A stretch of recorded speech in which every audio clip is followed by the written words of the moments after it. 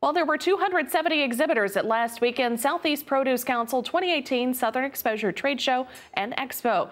SoutheastProduceWeekly.com's Chip Carter took to the show floor in Tampa for a look at what's new in the produce world. I'm in Tampa, Florida for the Southeast Produce Council 2018 Southern Exposure Trade Show. 270 exhibitors on the floor. Here are some highlights. Kurt, these vegetables look all dried up. Yeah, well, that's the point. These are dehydrated vegetables. It's all 100% vegetables right here that we have. Uh, we're launching here in May. Uh, what's nice about these items, they contain 90% of the uh, nutritional value. This, this is something you can sit in front of the television and eat at night oh, yeah. and feel really good about it. Now, Jim, your headquarters are in Ontario. You're a Canadian company, but here we are at the Southeast Produce Council show at Southern Exposure. I think people maybe have some misperceptions. Uh, the Canadian connection here has been powerful for a long, long time, and it's it's just kind of emblematic of the way this this council works and this show works internationally. Yeah, no, we've been a part of uh, of Southeast since since its start with uh, Harold Paivarinta, who uh, joined our company uh, eight or nine years ago, and we've carried that forward. You know, the folks in the Southeast have always been extremely friendly to us, and so we like to spend a lot of good time. The, you know, we're all here trying to do business, but the social side of the Southeast is probably equally as important to us. So Dan, we've, we've always heard about Irish potatoes, Irish potatoes, and everybody associates Ireland with potatoes. You guys are finally bringing the first true Irish potato and the most popular potato in Ireland into the U.S. market. That's correct. The variety that we're speaking about is called the Rooster variety. It is Ireland's favorite potato. It's on the bag. 70% market share in Ireland. It's the most grown prolific potato that they use over there, and we want to have it introduced to the American consumer.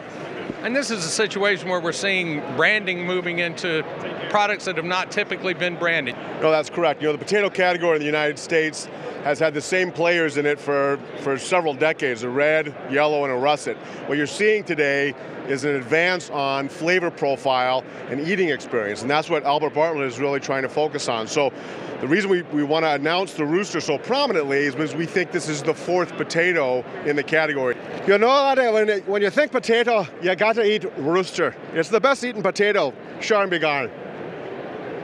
How's that? He's from Tennessee. Maggie, we see you guys at a lot of shows. Okay, every show. Right. Uh, what's special about Southern Exposure? You know, we love this show. This show is so well organized. It's one of those unique shows that keeps all the participants together. And you know it's a great show when you're able to do that. Mike, that's the tiniest little clamshell of tomatoes I ever saw. Yeah, it's coming in right about two ounces there, buddy. The perfect size for snacking. Well, I didn't think of that. This is like a sweet tomato. It's a very sweet tomato, six and a half Brix or higher.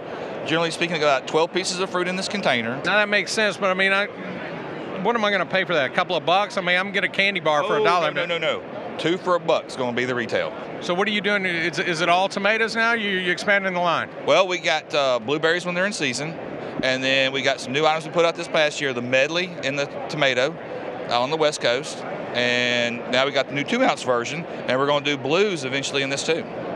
Next up, you'll have watermelons in there. I'm gonna work on it. So, Craig, I think uh, the big buzzwords in our industry and around the world now, I think, are, are sustainability and environmental impact.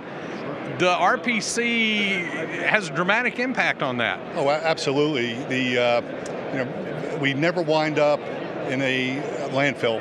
Thus far, globally, uh, we've we've taken a half a million cars off the road, basically, uh, based on our uh, our sustainability model. Now, Kirby, this looks like an old-fashioned farm stand here. We got tomatoes and zucchini and eggplant and it looks like old-fashioned farm. Bell peppers over there? Yeah, we farm year-round, starting in Homestead, Florida. Of course, our base is in Hendersonville, North Carolina.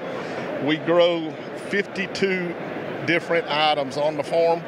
Flavor first, that's on all our tomatoes. We want flavor to be number one. The sun is setting on Southern Exposure 2018 here in Tampa. It's been an incredible four days. Uh, a lot of new friends, a lot of new business contacts. We've learned a lot of things. This is the time everybody's going to kick back, put up their feet, breathe a sigh of relief, and wait and do it all again next year. In Tampa, Florida, I'm Chip Carter from SoutheastProduceWeekly.com, reporting for RFD TV. Well, later today, Chip is back with a report from the Florida Strawberry Festival in Plant City. You can log on to SoutheastProduceWeekly.com for the latest updates.